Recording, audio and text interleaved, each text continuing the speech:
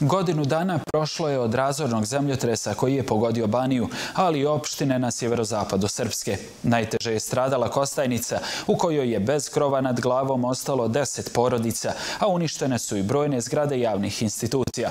Izgradnja sedam kuća za najugroženije trebalo bi da počne u martu. Najveću podršku obnovi pružile su vlade Srbije i Srpske. S druge strane, u Petrinji i Glini obnova traje sporo. Ekipa Pečata obišla je pogođena područja i provjerila kako kako živi stanovništvo godinu dana nakon zemljotresa, koji im je iz korijena promijenio život. Boris Anđić.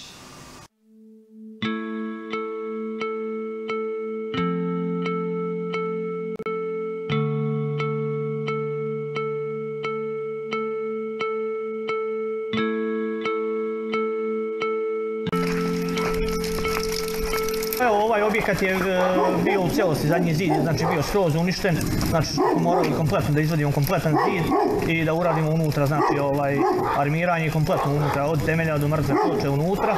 Godina dana prošla je od zemljotresa koji je razorio Kostajnicu.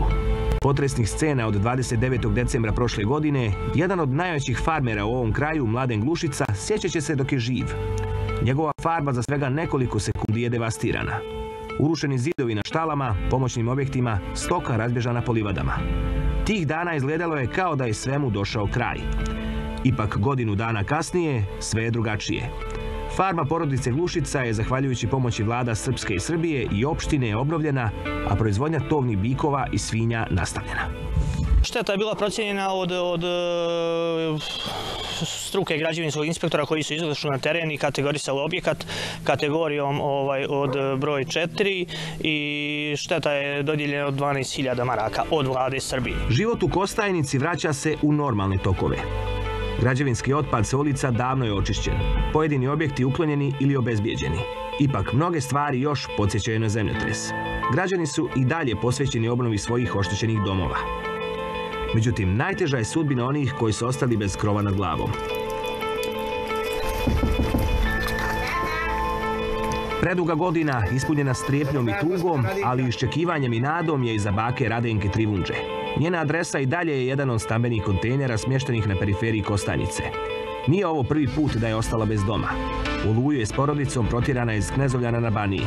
Skućili su se u Kostajnici, krenuli od nule i onda zemljotres je ponovo sve vratio na nulu. Snage za nove početke Radenka nema. Nada se da će uskoro dobiti novi dom. 30 godina nema svoje kuće. Kako sam izišla, ja nema više svoje kuće. Meni je teško, srce voli da rece mora.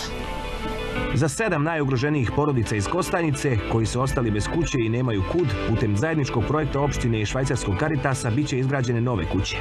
Riječ je o tipskim objektima, čiju kvadraturu će diktirati broj članova domaćinstva. Njihova izgradnja trebalo bi da počne u martu. Na javni poziv za dodjelu pomoći za sanaciju objekata stiglo je 475 zahtjeva, od kojih je do danas riješeno oko 400. U opštinskoj upravi kažu, dinamikom radova nisu zadovoljni, međutim rezultatima svakako jesu. Ovu priliku ću naravno iskoristiti da se zahvalim e, svim ljudima dobre volje koji su pomogli e, opštinu Kostajnica, da se zahvalim vladi Republike Srpske, e, srpskom članu predsjedništva i naravno gospodinu Vučiću na donaciji, jer bez te donacije od vlade Srbije i vlade Srpske ovdje u Kostajnici bilo šta bilo bi nemoguće. Pred opštinskim rukovodstvom je težak zadatak, jer su u zemljotresu uništene i brojne zgrade institucija. Među njima je zgrada opštine koja je morala biti iseljena. Mnoge institucije i danas nemaju prostor za trajni smještaj. Rekonstrukcija svih ovih objekata sasvim sigurno trajaće godinama, a najveći problem koji je isplivao na površinu u prethodnih godinu dana su nerješeni imovinsko-pravni odnosi kod većine oštećenih objekata. To uveliko usporava proces obnove. Štetu je pretrpjela i Kozarska dubica. Veća ili manja oštećenja prijavljene su na 652 stambena objekta. Nejavni poziv za dodjelu finansijske pomoći pristigle su 463 prijave. Godinu dana nakon zemljotresa, rukovodstvo opštine zadovoljno je urađeni. Veliki dio zahtjeva građana koji su prijavili štetu na objektima uspješno je riješen. I to ponovo zahvaljujući sredstvima vlada Srpske i Srbije. Ipak najveću snagu i razvornu moć zemljotres je pokazao oko epicentra u Baniji. Plina i Petrinja u potpunosti su razoreni. Godinu dana kasnije, već na prvi pogled vidi se da na obnovi ovih gradova nije urođeno mnogo. Jutro.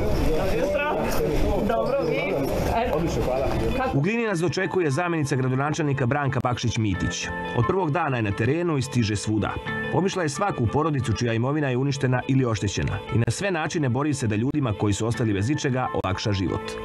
Kako kaže, godinu dana nakon zemljotresa situacija u Glini je veoma teška. Situacija nije sjajna, zapravo je jako loša, ali za razliku od drugih e, gradova u Sisačko-Moslavačkoj županiji, ja sam na ovom području znači, uspjela sa ljudima za ljude, sa privatnim donacijama, znači mi smo tu ukupno, sad smo došli do broja 40, izgradili smo što montažne kuće, što drvene kuće, što smo kupili kuće sa zelenim naljepnicama. Znači ipak je nekakav pomak, znači sve u stvari se radi privatnim donacijama. Evo, nažalost, država je u ovom periodu obnovila samo i to ne sve kuće sa zelenim naljepnicama, to je dimnjake obnovila, ali obnova dimnjaka nije, nije obnova kuće. Za one koji su ostali bez krova nad glavom, nedaliko od centra Gline izgrađeno je kontejnersko naselje. Ovdje živi 56 ljudi, uglavnom samaca, starih i nemoćnih, koje je na ovom mjestu spojila i jednako teška sudbina. U limenim kontejnerima mnogi su dočekali katolički božić.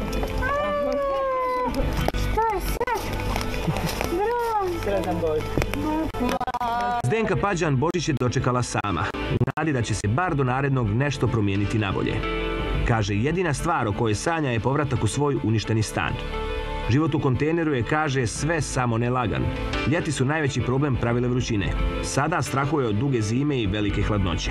Ipak najteže joj pada samoća. Onda je to dosadno, monotono je. Taj se nam internet obeća, ali na samom početku i to me radovalo. Imam i svoj profil. Bi kontaktirali. Ja bi danas ljudima e, čestitala Božić i dolazi nova godina. Nemamo ga. A već je sve sprovedeno. Samo treba početi raditi. Evo sve je tamo i kućica mobilna, ali nema interneta, to nam jako nedostaje.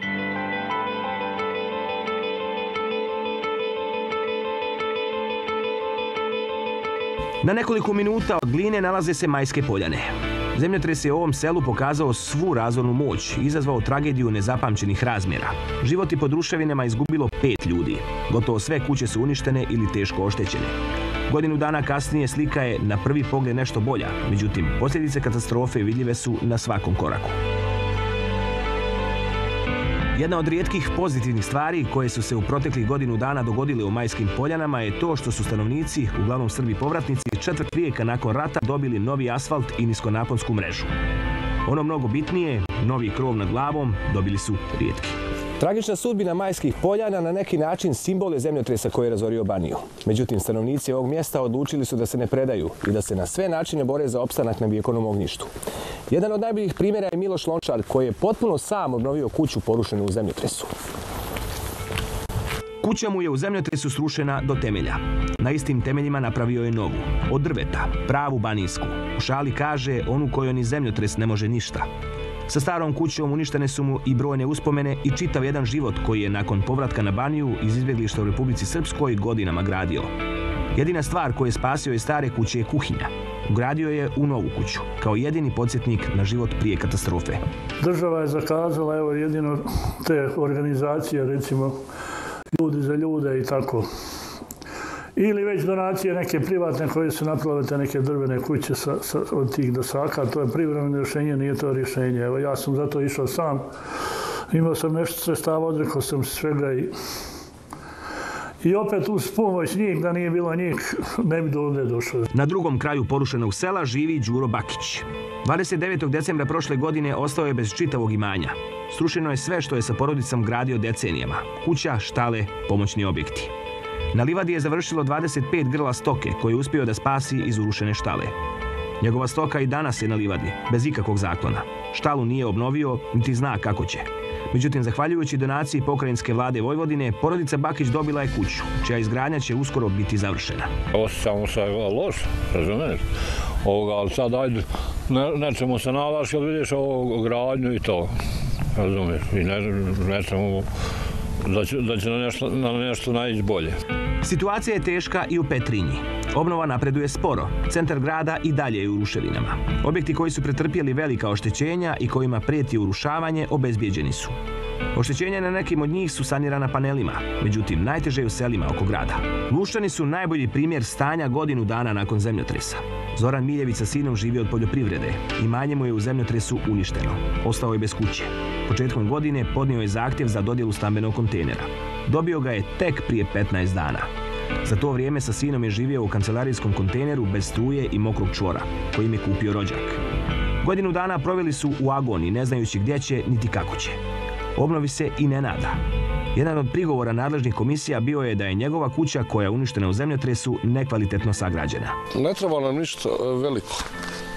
Samo neka lijepa riječ, ali ja sam išao za kuću, na kraju su meni rekli e, zašto ste napravili takvu kuću, ali to je e, Republika Hrvatska obnovu radila 2003. godine i popucali svi zidovi. Znači, nema ni vode unutra, nema ništa. Znači, tuširamo se negdje, a gdje. Međutim, ono što je održalo povratnike na Baniju i što ih i dalje drži na njihovoj svetoj i nemirnoj zemlji je vedar duh i nada u bolje sutra. Zemljotres je promijenio lice Banije, ali ne i karakter njenih stanovnika. Brojne nevolje koji su ih pratile vijekovima nisu ih omele da se održe na vijekovnim ognjištima. Kažu neće ni ova. I dalje žive u nadi da će im kuće biti obnovljene. Neće biti prvi put da prkosno počinju život iz početka. To je ono što najbolje znaju.